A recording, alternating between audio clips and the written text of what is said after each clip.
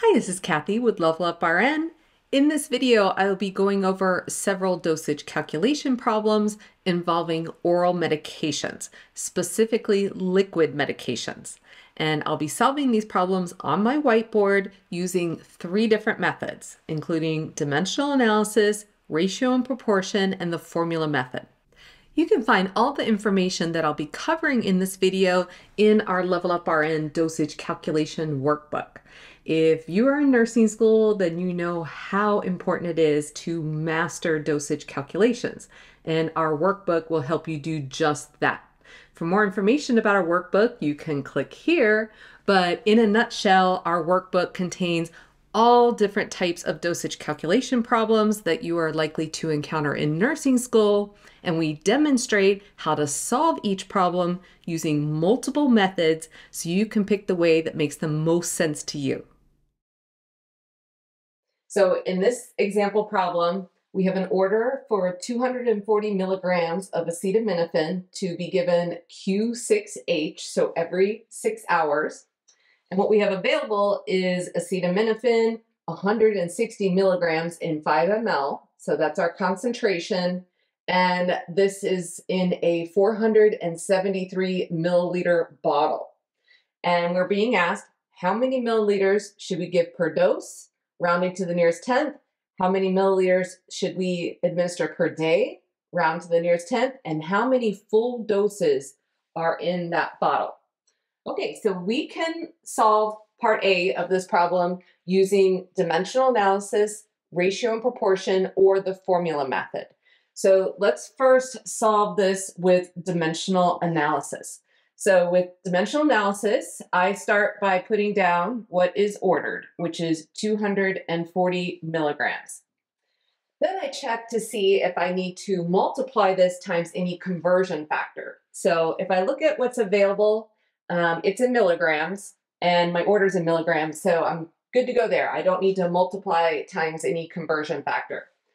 Next, I would just multiply times the concentration making sure I'm putting the milliliters on top and the milligrams on bottom such that my milligrams cross off and I'm left with milliliters, which is what I was looking for. So if you multiply this out, you end up with 7.5 milliliters. And the instruction said to round this to the nearest tenth. My answer is actually already to the nearest tenth. So we're good to go as far as rounding. Okay, let's solve this same problem using ratio and proportion. So let's put ratio proportion.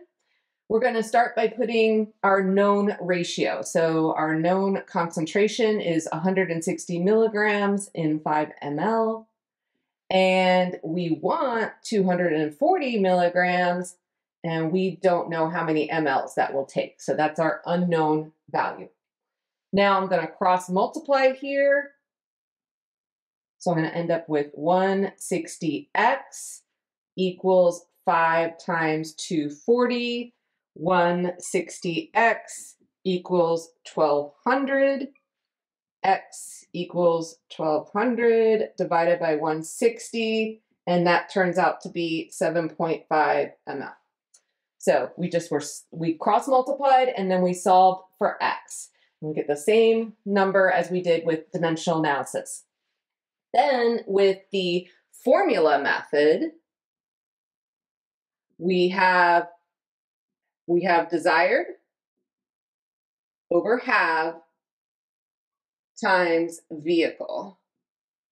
So we desire or want 240 milligrams. We have 160 milligrams in 5 ml of solution. So that 5 ml of solution is the vehicle to get that 160 milligrams. So our milligrams cross off, and if we multiply this out, again, we get 7.5 ml. So 7.5 ml is the answer to part A. Part B asks us how many milliliters is the patient receiving per day. So, per the order, the patient is getting this medication every six hours, which is four times in a day or 24 hour period. So, we're going to take 7.5 ml times 4, and that equals 30 ml. And that's how much they would get per day. This tells us to round to the nearest tenth. This is already rounded appropriately. So if we'd had like 30.56 or whatever, then we would need to round. But this is already a whole number, so it's rounded to the nearest tenth. And then our last problem here, part C, is how many full doses are in the bottle. So our bottle has 473 milliliters. And with each dose, we are giving 7.5 milliliters. So if you divide this out, you get 63.07. We can't give 0.07 of a dose, right? So that's not a full dose. So really, we only have 63 full doses in our bottle, okay? And that's the answer to part C. Let's now work through a second liquid medication example problem. In this problem, our patient is receiving lactulose 30 milliliters TID, so three times a day, for hepatic encephalopathy. Lactulose 10 grams and 15 milliliters is available. So that's our medication concentration.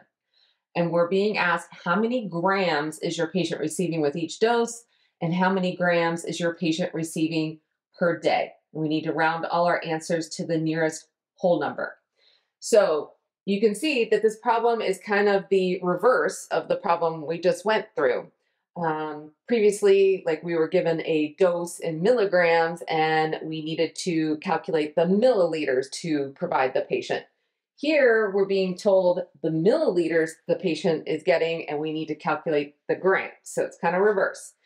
We can use dimensional analysis or ratio and proportion to solve part A of this problem. The formula method um, does not really apply here because we're kind of doing, doing things in reverse. So let's go ahead and solve part A using dimensional analysis. So the patient is receiving 30 milliliters um, with each dose. And to calculate how many grams they're getting with each dose, I need to multiply this times the available concentration. And I want to make sure my grams is on top and my milliliters are on bottom. That way my milliliters will cross off and I'll be left with grams. So you gotta be careful about how you set this up. So if I do this multiplication, I end up with 20 grams. So that's how we would solve it with dimensional analysis. Now let's solve the same problem with ratio and proportion. So with ratio and proportion, I'm gonna put my known ratio down. So that's my available concentration. And then I'm going to put my unknown value on the other side with the 30 milliliters the patient is receiving. So known concentration how much the patient is actually receiving, and X is our unknown value. So now I can cross multiply here. So I have 15X, and then I have 10 times 30. So 15X equals 300. X equals 300 divided by 15, which equals 20 grams. So we get the same answer as we did up here. A few more steps, but if you like algebra um, and you want some flexibility on how you set up your ratios, this may be a better method for you. Okay, part B of this question is how many grams is your patient receiving per day? So since the patient is getting this TID, that is three times a day, then we just need to take the 20 grams that they're getting per dose, multiply that times three, and that gets us to 60 grams. And that's how much the patient is receiving per day. So let's check our rounding. We were instructed to round our answers to the nearest whole number, um, which the answer came out to the nearest, you know, to a whole number anyway. So we're good to go. 20 grams per dose, 60 grams per day. We invite you to subscribe to our channel and share a link with your classmates and friends in nursing school. And if you found value in this video, be sure to hit that like button and let us know what you found to be particularly helpful.